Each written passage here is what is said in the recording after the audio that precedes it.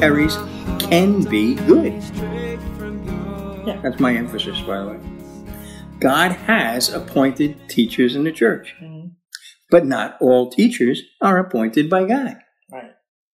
Yes. I was saying to Mark the other day, we were talking about somebody, a big famous preacher, and I said, well, if you hear people start to talk about him, because generally if they get on the subject, they'll talk about him, they won't talk about God. Mhm. And I was just saying, how did you test him? Right. How do you test them? If you start talking to me about somebody and you go on and on about a, a, a pastor, a teacher, I may say to you, how did you test them? Because the Word of God says, First John, John wrote, First John 4, Mhm. he said, Beloved, do not believe every spirit, but test the spirits to see whether they are from God. Because many false prophets have gone out into the world. So you got to test these things. How many times have I said that here during this series?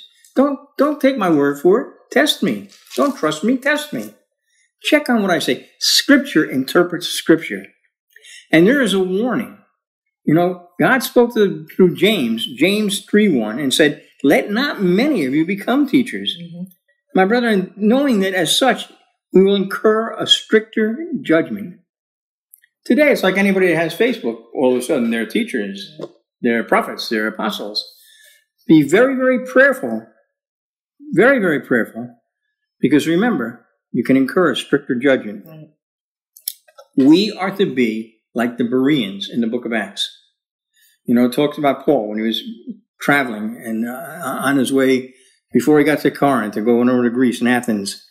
He says, Now these were more noble minded, these being the Bereans, were more noble minded than those in Thessalonica, for they received the word with great eagerness, examining the scriptures daily to see whether these things were so.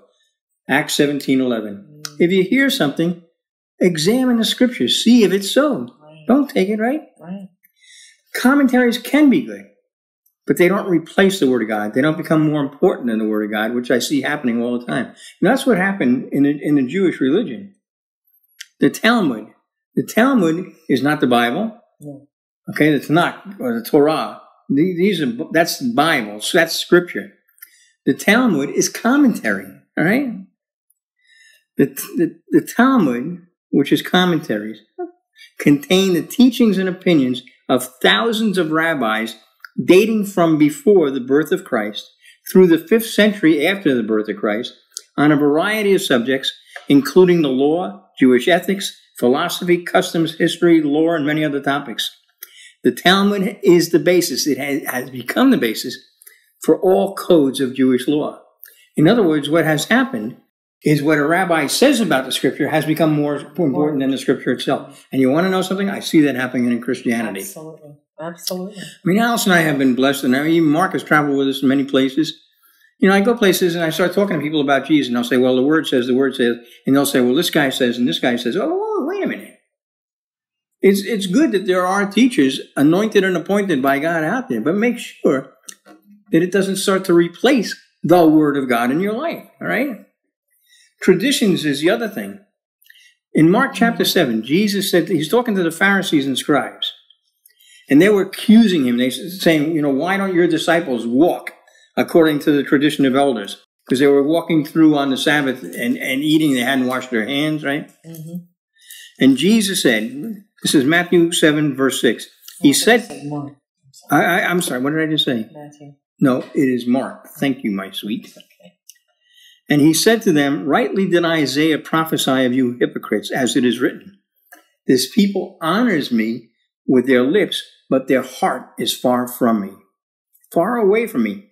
But in vain do they teach, in vain do they worship me, teaching as doctrines the precepts of men. Neglecting the commandment of God, you hold to the tradition of men. He was also saying to them, You are experts at setting aside the commandment of God in order to keep your tradition. The true danger arises when the tradition of men supplants the commandment of God. Now, obviously, in Jesus' statement that I just read, Mm-hmm. the traditions were not in line with the commandments. Right. Yeah. Ergo, every tradition should be tested according to the word, tested against the word.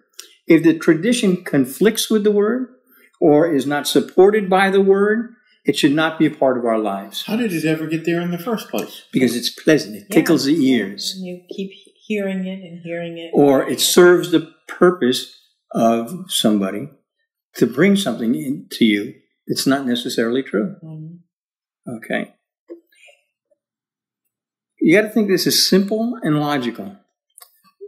I love this. You, and you all probably know this. Psalm 23. David wrote, He restoreth my soul. He leads me in paths of righteousness for his name's sake.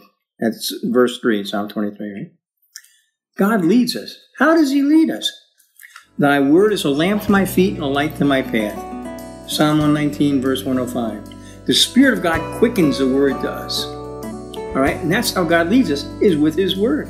So what happens when you put the word aside? You are in trouble. You're in grave danger. Let my eyes read your word. Let my ears hear your voice. Let my body be your temple.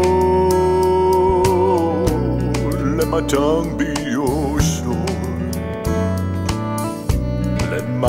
eyes read your word. Let my ears hear your voice. Let my body be your temple. Let my tongue be your soul. From Genesis to Revelation,